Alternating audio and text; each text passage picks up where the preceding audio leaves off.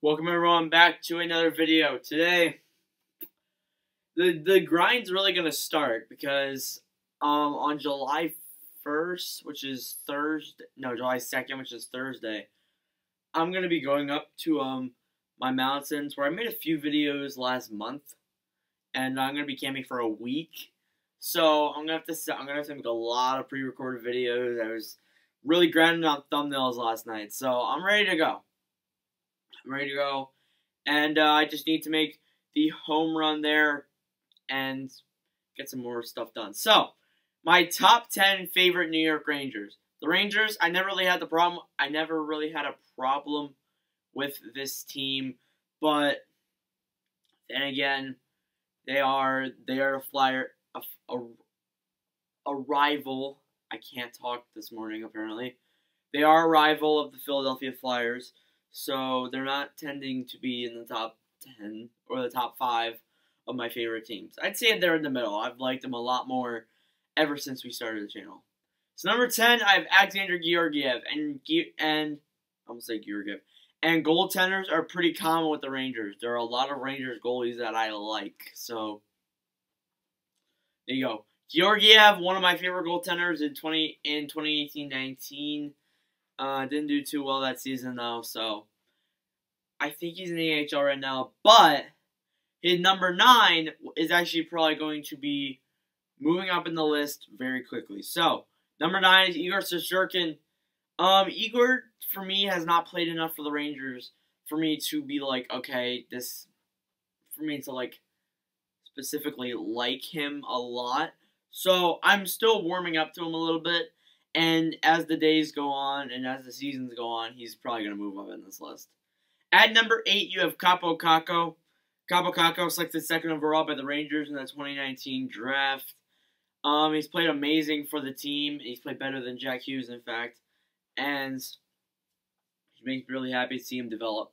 At number seven, you have Adam Fox. Adam Fox was a part of a Carolina Hurricanes trade that sent him here. I think he was drafted by the Flames, though. So or the he, I think he was drafted by the Hurricanes. He was drafted by someone else. But any anyways, one of the best defensemen I've seen play for the Rangers team in the entire time that I've watched him. So at number six, you have Matt Zuccarello. Matt Zuccarello, before he went to Minnesota in 2019-20, 2017-18, 2018-19, he was one of my favorite one of my favorite players in the Rangers. But as he started, but when he left, he kind of he kind of went up a little bit. So, at number five, you have Kevin Shattenkirk.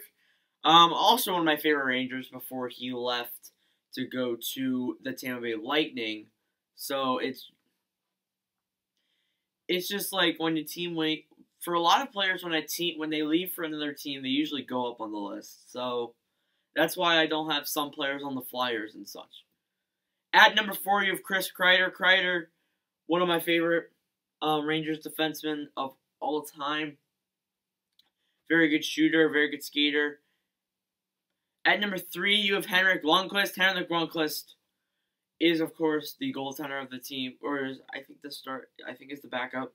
Um, Hank needs a cup. I think that around now is where you're gonna get your last chance to try and get him a Stanley Cup. If you don't get him it this year, he's he, hate to say it, but I don't think he's gonna win one. At number two, you have Mika Zibanejad. Mika Zibanejad, famous for his five goal, for his five goal night a few months ago. Um, I think it was a month, it was a few days before the season ended, and he's just been an absolute stud for the past three years that I'm watching him. At number one, you have Artemi Panarin. When Panarin signed with this team, Panarin was one of my favorite Blue Jackets, Blue Jackets, anyways.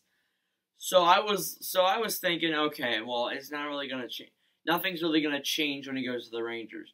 I mean, we had I had Zibanejad at number one um, back in 2018-19 before Panarin came in, and then he boosted up to number one. So it's it's just that like some of my favorite players when they go to other teams, they become my favorite player on that team, even though they might not do very well on that team or specifically last long on that team. That goes to show with a lot of minor league players. So yeah, that is my top 10 New York Rangers. Thank you guys for watching. If you did enjoy, make sure to leave a like, hit that subscribe button. We're trying to get to 300 by the end of the year.